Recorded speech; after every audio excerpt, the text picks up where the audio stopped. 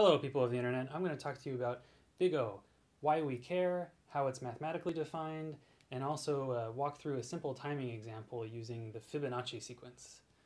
So as for why we care, the main reason is speed, memory usage, and basically most other things that we want to optimize in a program. You can imagine a program where part of its job is to tell whether or not a word is in a list of words. For example, when you search for a web page, we have to somehow know uh, that a word is in a web page or not. So one approach you can take to that is just looking at every single word one at a time, but that's really slow because if we have twice as many words, now it's going to take about twice as long because I have to look at twice as many words. Uh, similarly, if I had 10 times as many words, it would take 10 times as long. But we can do better than that.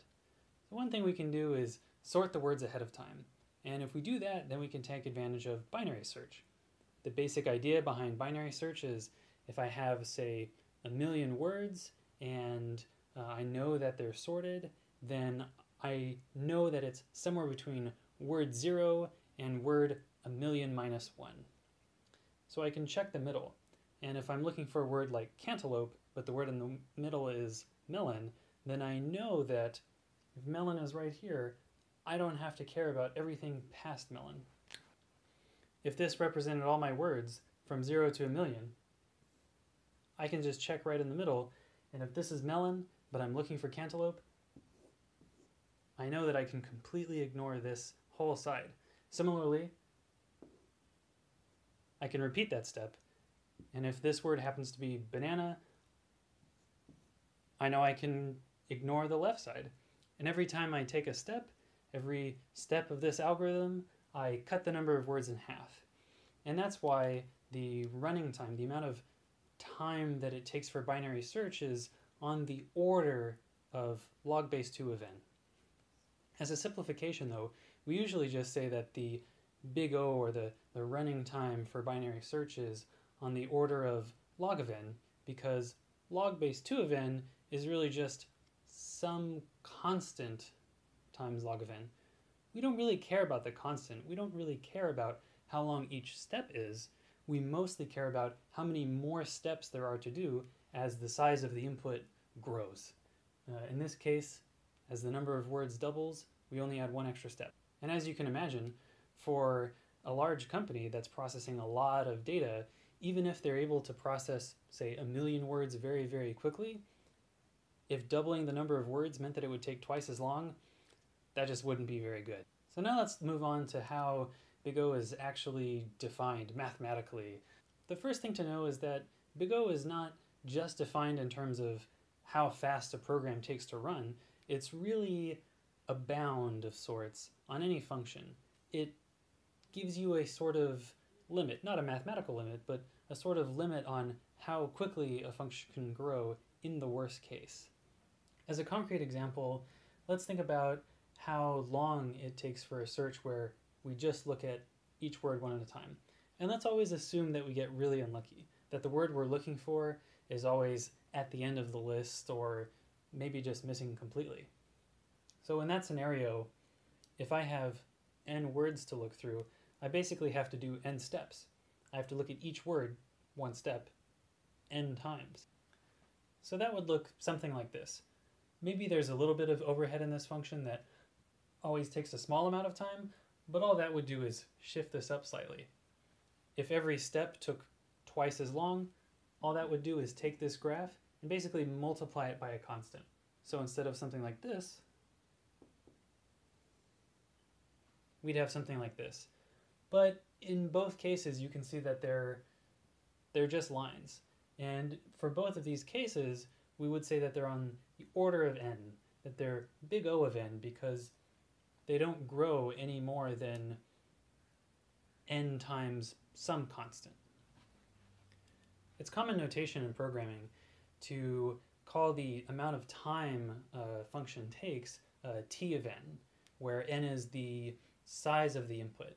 In our searching example, n would just be the number of words that we have to look through. So the way that we say that the amount of time something takes is on the uh, order of g of n, where g of n can be any function like n or log base 2 of n, n squared, anything you can think of, is just to say that t of n is O of g of n.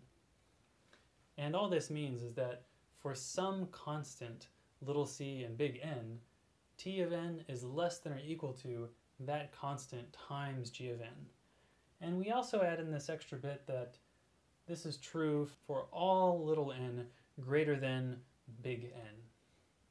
So if I were to draw this out, just to give you a real idea, imagine the linear search that has a little bit of overhead in the beginning.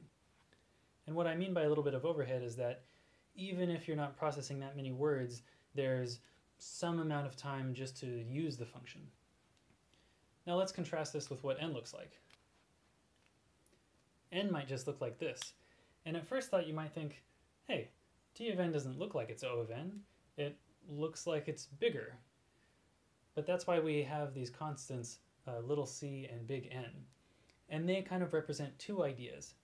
The idea behind this constant is that we don't care how long each step takes, we just care how much longer it takes as the size of the input grows. And since c is a constant that doesn't depend on n, it doesn't really change how things grow, it just changes how much time each step takes. So for example, if this is n and we chose c to be 2, then this would just double. And now it's pretty clear that even though t of n starts out bigger than some constant times n, after some point, t of n is always less than or equal to it. And that's where big N comes in. It's basically the point at which you see that crossover. And in order for t of n to be O of g of n, you have to make sure that after some point, t of n is always smaller or the same.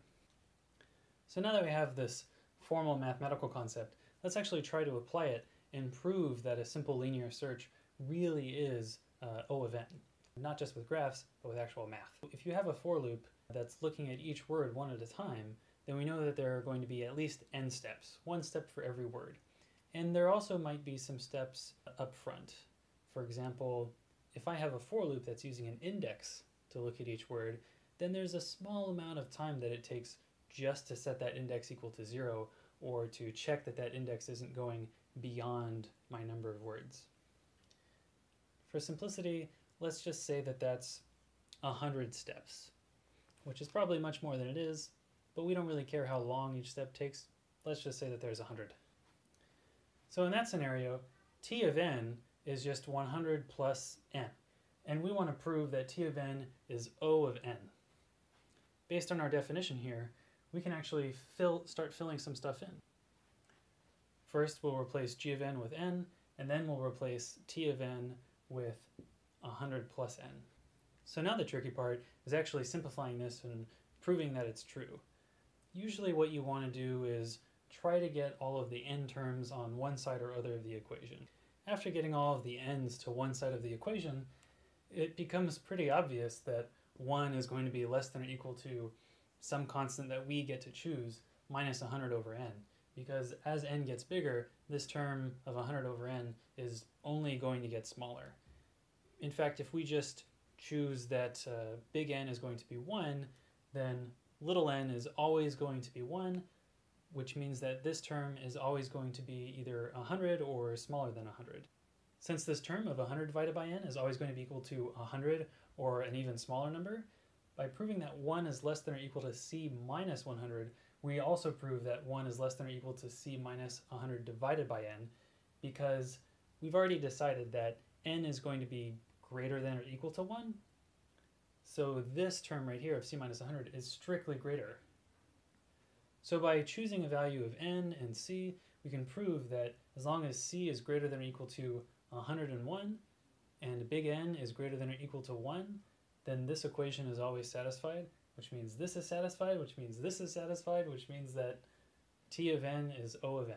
Note that if we wanted to take some extra steps, we'd actually be able to find a c that always works for an n that we choose, or vice versa. So now I want to talk about the timing example. So we're going to look at some actual C++ code that calculates the Fibonacci sequence. And if you're not familiar with the Fibonacci sequence, that's okay.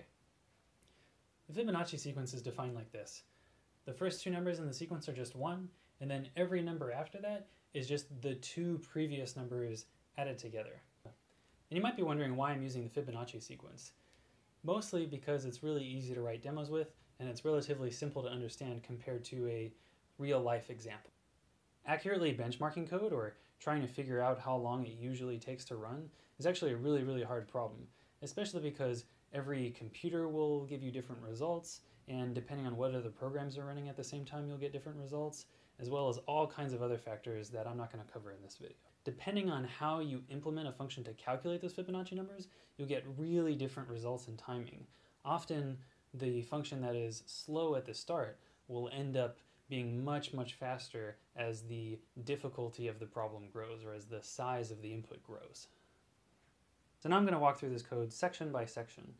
Uh, first we have the includes to include things like C++'s time library called Chrono, a library for math, doing basic operations like parsing numbers, and then uh, C's standard in and standard output. Um, we could use IOStream, but I like the formatting of printf better. So the first thing we do is implement a simple timer. Now, timing things is really, really difficult, and you might think that the best way to time something is just to check, you know, what time it is on the clock right now and then check later, but this has some problems. The recommended way, sorry, but this has some problems.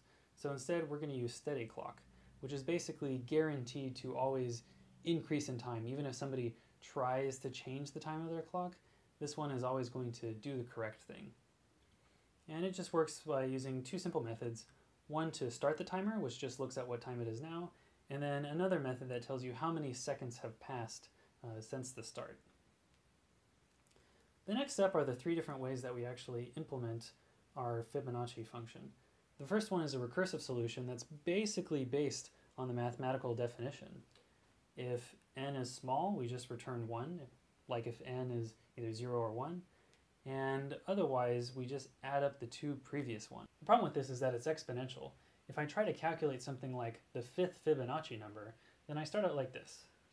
In order to calculate the fifth Fibonacci number, first I have to calculate the fourth Fibonacci number and the third Fibonacci number.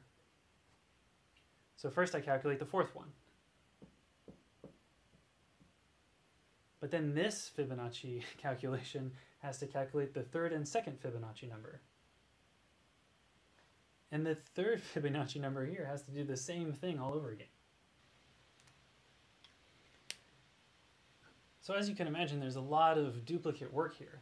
In fact, the third Fibonacci number is calculated in two different places, and because we're not doing anything in the code to actually remember what the third Fibonacci number is, all of that extra work is just extra work for really no benefit. So one cool thing about calculating the Fibonacci numbers this way is that it's so amazingly slow. In fact, if you look at the number of times I have to go down or the number of branches I have to take, that basically corresponds to the number of steps that I have to do in order to calculate the fifth Fibonacci number. And if I were to go calculate the sixth Fibonacci number, I would essentially have to calculate the fifth Fibonacci number all over again, as well as the fourth Fibonacci number all over again. So I almost double the amount of branches that I have to take, or the amount of steps that I have to take in order to calculate the next Fibonacci number. The next one we look at tries to remember all the work that it did. So we start off with these first few uh, Fibonacci numbers, and then what we do is we just loop n times. And the idea behind this code is that first we calculate the next Fibonacci number, and then we update just to make sure that you know our f0, or in this case, the Fibonacci number from two numbers ago gets updated, and the Fibonacci number from one number ago also gets updated. So in other words, f2 is always going to be the nth Fibonacci number, f1 is going to always be the n minus 1th Fibonacci number, and f0 is always going to be the n minus 2 Fibonacci number. And this one is linear. Even though we have some steps here, a lot of these steps only happen exactly one time. Right? these steps in the loop happen multiple times, but we know that they happen roughly n times. So the total number of steps for this version of the Fibonacci function is just 5 times n plus 9. Now, we don't know which of these steps actually take more or less time, but it's actually not super important. The important thing is that this is roughly how much it grows. And this is linear, or O of n.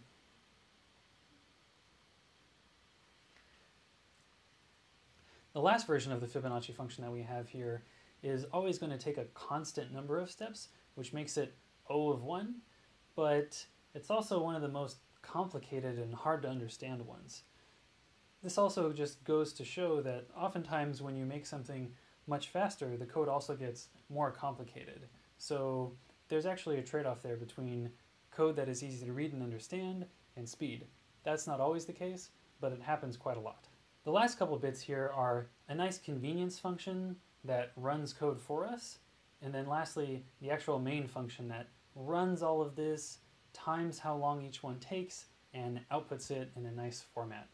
For the sake of time, I'm not going to go through the rest of the code, but the short version is it's going to run each of those Fibonacci functions, giving it larger and larger n. So we calculate the first Fibonacci number, the second Fibonacci number, and then the 10th and the 20th and the 100th and so on. And we're going to see roughly how long each one takes.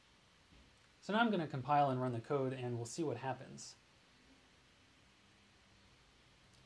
One of the really interesting things to note is that at the start, when we're calculating really small Fibonacci numbers, the recursive version is the fastest. And then the second fastest one is the loop, and then the slowest one by far is the math one. And this is kind of the exact opposite of what we expected. I had just said that the math one always takes a constant number of steps, so it should be faster. And similarly with the loop one, the loop one always takes some linear number of steps. If I calculate the 10th Fibonacci number uh, compared to say the second Fibonacci number, it should take about five times as long. And with the recursive one, it should get much, much slower as time goes on. If we actually look at the numbers, that is in fact exactly what happens. Initially, the math one is the slowest, but eventually, right towards the end, it eventually becomes the fastest of them all. Similarly, once we start calculating around the 35th Fibonacci number, the loop version uh, is still relatively fast compared to the recursive version. In every step of the recursive version, it almost looks like we're taking 10 or 5 times as long, while the loop one just steadily increases in how much time it takes. So this is just an example to show you that you should care about big O because when you're dealing with really large inputs, if you're just focused on the raw speed, if you're just focused on how fast you can process, say, 1 million words, then your function might actually be really slow when you have to process, say, a billion words. And that's it. If you liked the video, please subscribe and see you later.